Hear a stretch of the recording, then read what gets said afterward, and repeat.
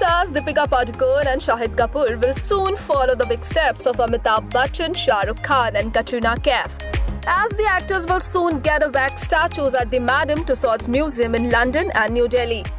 Deepika announced the happy news in a live Facebook chat where she said, It's fun, exciting, and in a way, I feel a lot of gratitude because you know, when you give your fans a little more than just the movies, then it's really, really special.